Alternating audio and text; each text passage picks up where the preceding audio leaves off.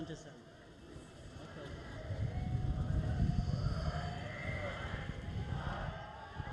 halo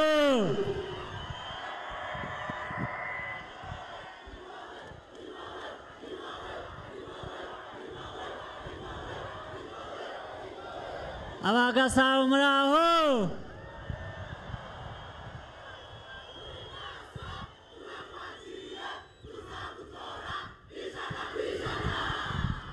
murakoze cyane. Ab'inyuma hariya turi kumwe turumvikana.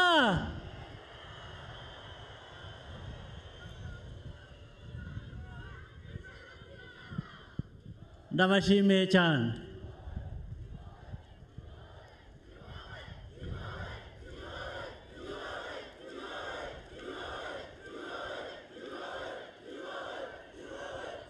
Ndabashimiye mwese. Abagasabo n'abandi bari hano bose twagendanye abenshi tunagendana hirya no hino aho twagiye tujya ndabashimiye kuri uyu munsi.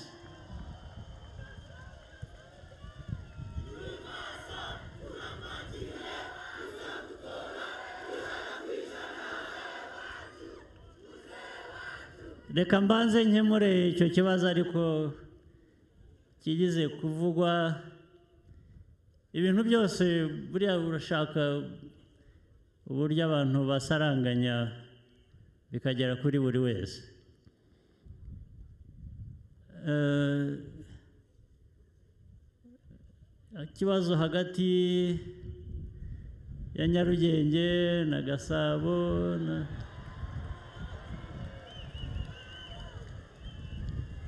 uko nzabigenza? Fazili namwemereye ko nibantumira nzaza ngasangira nabo ubwo nzaza.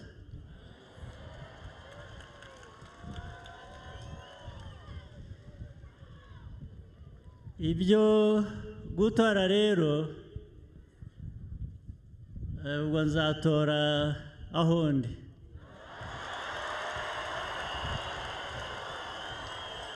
aho ndi ni ho nzatorera. Hanyuma kuri wa munsi mukuru natumiweho nkazajya gusangira n'abayisilamu ku munsi mukuru wabo. Ubwo si ubutabera se?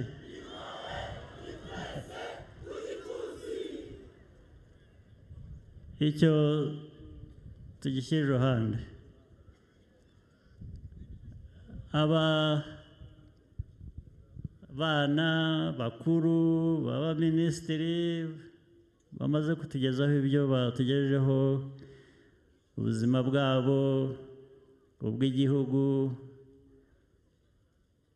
n'ibindi. Inkuru ni nyinshi ntabwo zabarwa ngo zirangire. Ndetse ibintu bimwe bigenda byikora bigasa bigahura. Abantu batagombye no gutekereza cyane ngo babikore uko bikwiye. Bumvise iva ukuntu yatahutse afite imyaka ine jya nahunze mfite imyaka ine. Ariko uko tungana kose tugahurira hano. Tugakora umurimo umwe wo kubaka wo kongera kubaka igihugu cyacu.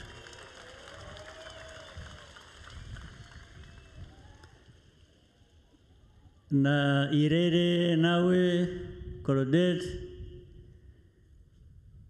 wajyaga afata umunyenga muri lifuti yo muri minisiteri ubu ngubu ayobora ushobora kwibwira ngo hari wari ubizi wabikurikiranaga ageze aho atuma bimera bityo. Ariko ntabwo ari byo. Ariko ni byo ku rundi ruhande ku bwa politiki ku bw'igihugu gishyira imbere abacyo. Ntawe gisize inyuma. Reka mbabwire indi nkuru yenda gusa nk'iyo yari ifite. Nigeze njya mbivuga nigeze naje mu rwanda najyaga nza naje muri mirongo irindwi na karindwi ngaruka mirongo irindwi n'umunani ndetse ngira ngo naje gatatu. No mu ntangiriro ya mirongo irindwi n'icyenda. Najyaga nza hano uhuriye nanjye mu nzira wanankubitira n'ubusa icyo gihe nta ndetse niko byari bigiye kugenda. Rimwe aho nabaga nabaga mu kiyovu hari umugabo mfitanye nawe isano abana be ngira ngo baracyariho wenda bamwe bari hano yitwaga muyango muyango karaveri yakoraga muri minisante. Ngira ngo yari nka diregiteri generale yari yarize hanze hano avuye mu rwanda yiga hanze icyo gihe hitwaga hari Czechoslovakia ni ho yigiye n'abandi banyarwanda bari baragiyeyo. Bari benshi. Hanyuma barangije amashuri bagiye gutaha igihugu icyo gihe ubuyobozi bwariho bugarura bamwe bwemerera bamwe kugaruka. We n'abandi nka bane cyangwa batanu barababwira ngo ntibagaruke nta kubera icyo bari cyo.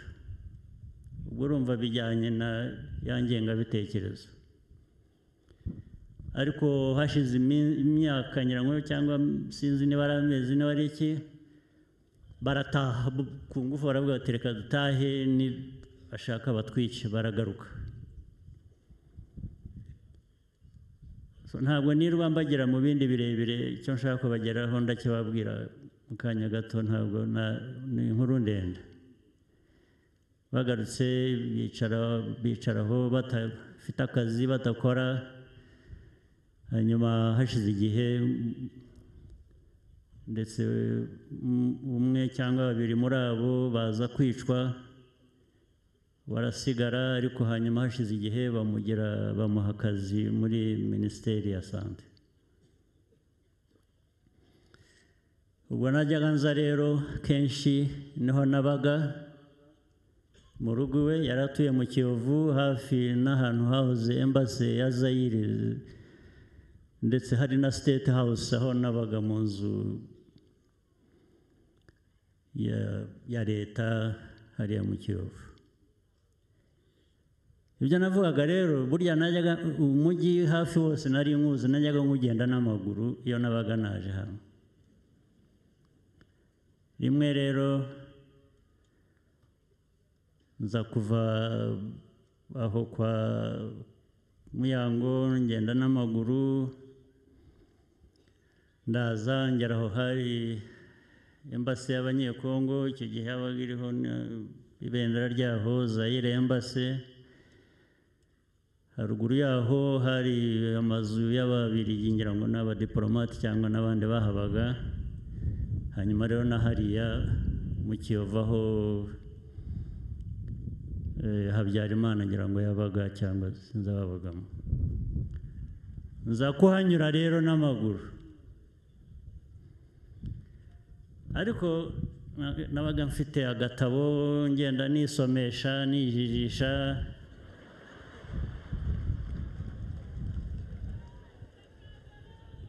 nza kuhanyura mva kuri aho ku embase ndazamuka ngana aho ababiri bari batuye haruguru usa n'ugana kuri parado umujandarume wari uharinze kuri urwo ruhande babaga barinze impande ebyiri hari urwo ruhande n'urundi hirya. Ati yewe sha! Ndamwihorera nirebe noneho bituma nsoma kurusha uko ngoma ngenda. Ati yewe ati wowe ati we. Ndabanza ndamwihorera ngiye kumva numva yari yambaye bute iz'abasirikare zirimo ibyuma hasi ngira ngo numva arambuka umuhanda aza ansanga arangira ati we shati ni we mbwira? Noneho ndahindukira ndamureba. Ntigewe ntige wavugaga? Ngwino hano ngira nsa n'utabyumvise ndavuduka ndiruka. Arankurikira aranyirukankana ariko ntabwo yamenye aho nyuze. Ndiruka ndamusiga. Ndagenda ndazunguruka hari ahantu ngira ngo hari niba n'icyo gihe hari hari embasi y'abafaransa muri icyo gice ndagenda ndazunguruka ndakwepa ndagenda ninjira mu nzu kwa muryango karaveri njya. Nta nubwo nigeze mbabwira ibyambayeho. Icyo nshaka kuvuga ni iki? Ubwo byabaye mirongo irindwi na karindwi cyangwa mirongo irindwi n'umunani. Hanyuma karabaye naje kwisanga ntuye muri iyo nzu.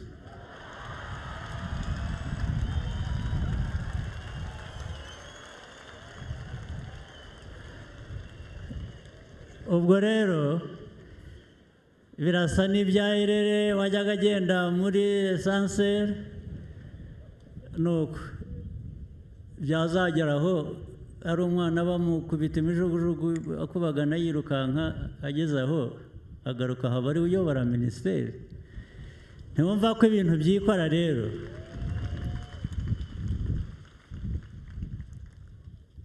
Ayo mateka rero ni byinshi ni byinshi ntabwo nabibagiramo ariko rpf fpr muri yo iyo muri bivuze politiki ishyira amateka uko akwiriye kuba yandikwa.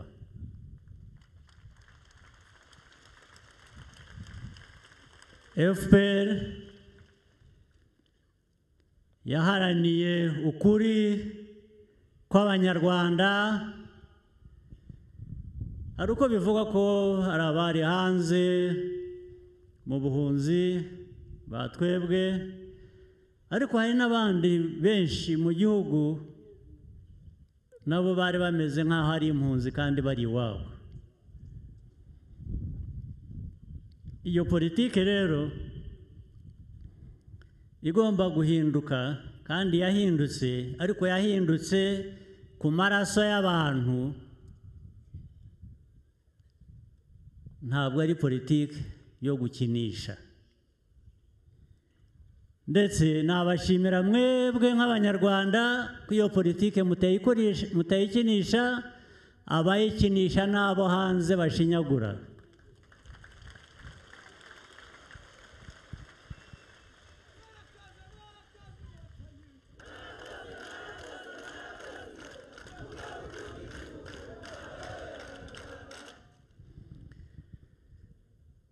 Muri ibyo byose rero uko abantu bitanze icyo gihe imyaka mirongo itatu n'indi ishize tukaba tugeze aha ngaha aho tugeze uko ibintu bimeze mu rwanda nuko byahoze ndetse kenshi nuko bimeze ahandi nababwira ko twese hamwe dukwiriye kwishimira igihugu cyacu uko tucyubaka n'aho tukigejeje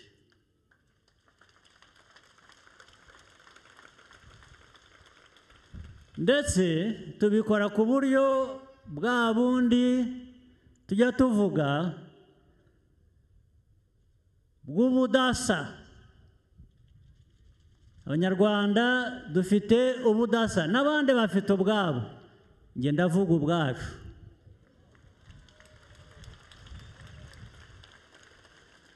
Ubudasa bwacu n'uyu munsi. Kubona muteraniye aha muri imbaga ingana itya? Mu gihe cy'amatora. N'ahandi hose twagiye baza bangana nk'uku mungana.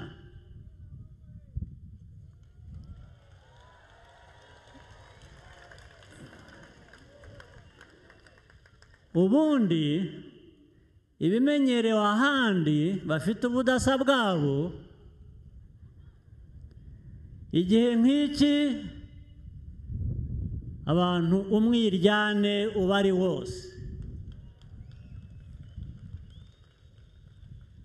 Ndetse uwo mwiryane abantu baragiye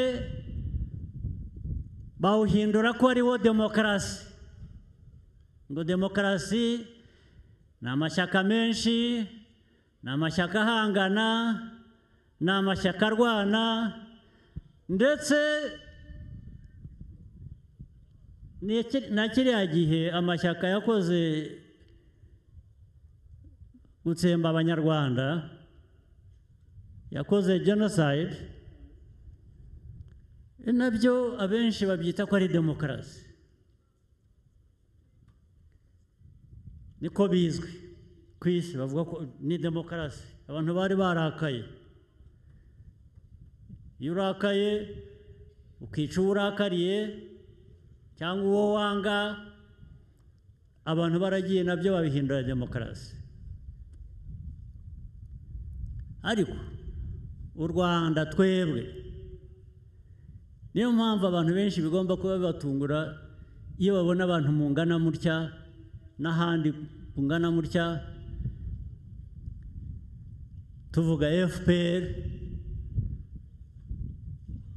ni ukuvuga ngo ariko tuvuga fpr tuvuga n'abo dufatanije bandi bandi mashyaka.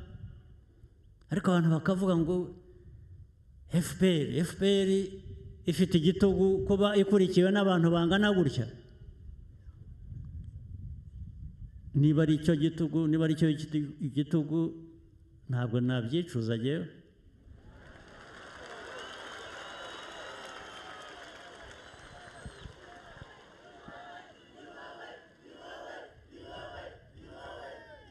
igitugu kivamo abantu ku bana batarigeze babana bangana bicana baragize na jenoside nk'iyo twagize hano. Ukagira abantu bakajya hamwe bakumvikana bagateza imbere igihugu cyabo. Wabaha uburyo bwo kugira ngo bahitemo bakore amatora ya politiki bashaka y'abayobozi bashaka. Ukavuga ngo ni igitugu kubera ko ari ubudasa budasa n'ubwawe ibyo nabwira ko mu mateka u rwanda rwandika n'ibyo birimo.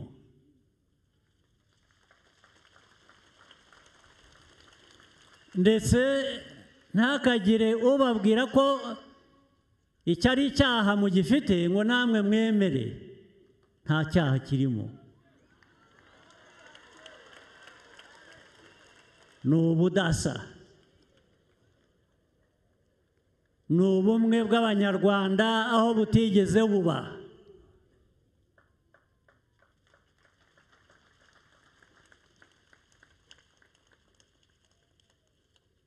Ni amateka ahinduka. Akava habi akajya heza.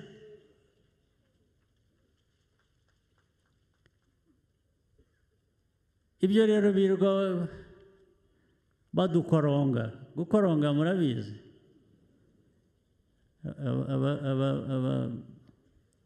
Abazi iby'inka bya kera.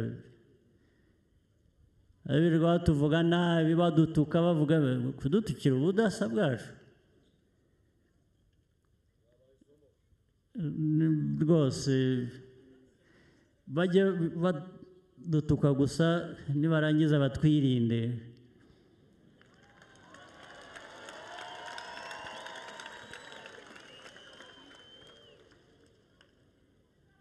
Igihugu gishyize hamwe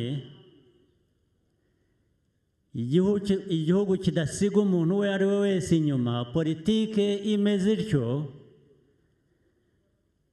nta kwisa.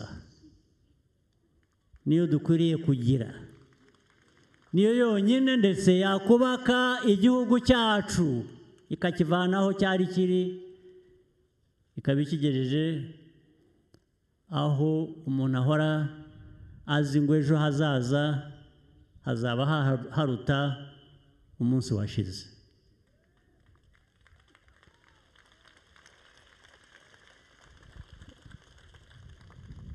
Ni cyo rero jyewe cyanzanye hano ni ukubasaba amajwi nzi ko nyafite mwayampaye.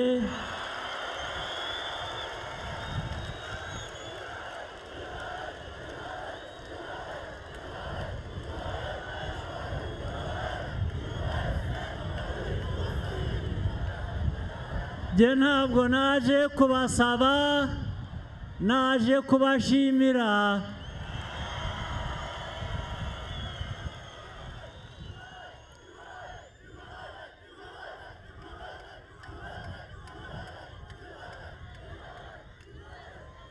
Naho ibindi ibindi bireke kuturangaza rwose twikorere. Twikorere ibitureba.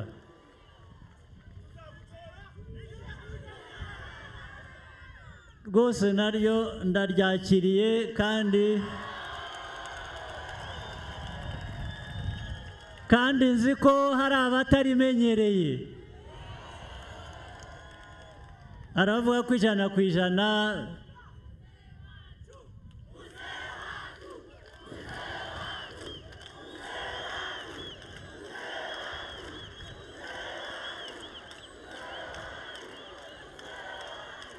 Hari abazi ko ijana ku ijana abari- abarigize igitutsi. Ntaryo bashoboye ntaryo babona.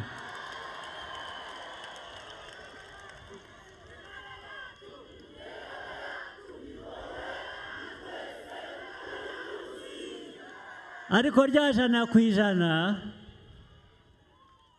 rya jana ku ijana rivuze ubudasa. Rivuze politike yahindutse ikava mu macakubiri ikava mu bwicanyi ikajya mu kubaka igihugu abanyarwanda bakaba bari hamwe.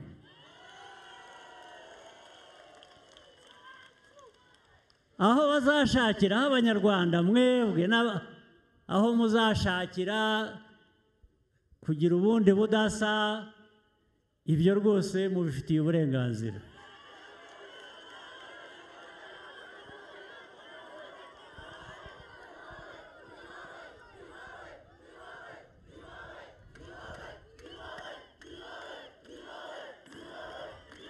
Nagira ngo rero ndangize nshimira imitwe ya politiki. Dufatanije bari hano abayobozi bayo ngira ngo ndaza no gusaba nimba ndangije kuvuga babazane hano babaramutse nabo.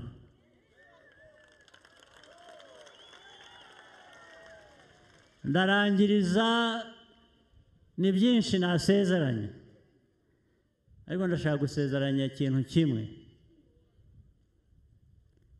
Kimwe gusa cyihuse. Kandi nifuza ko kizihuta. Hari umuhanda twajemo.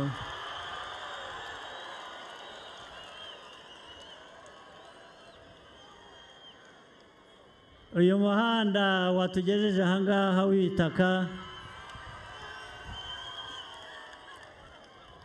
uraza guhinduka kaburimbo vuba byanze bikunze. Ibyo ndayibasezeranije nitumara guhitamo neza itariki cumi n'eshanu.